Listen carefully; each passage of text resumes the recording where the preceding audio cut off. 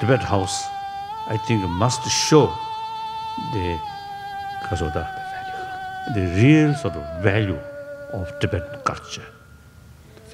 And with that, I think the Buddhist concept, uh, not, not necessarily take as a Buddhist religion, but rather Buddhist concept as a form of, I think, good humanism. Right.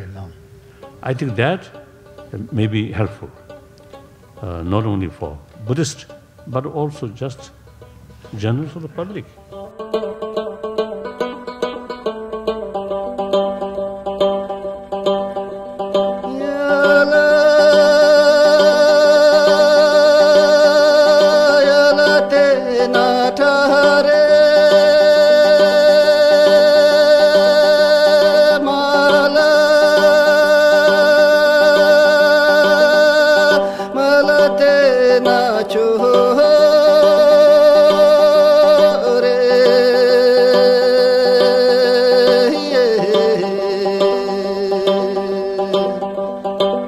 What is unique about the Tibet House?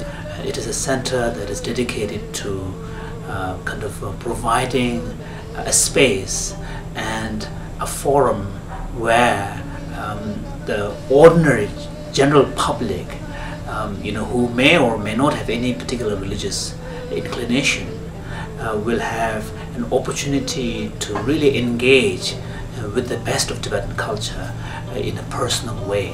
helping Tibet House, I want to express my thank, my appreciation. And I think at this moment, because of this situation, perhaps I can express thank on behalf of six million Tibetan people.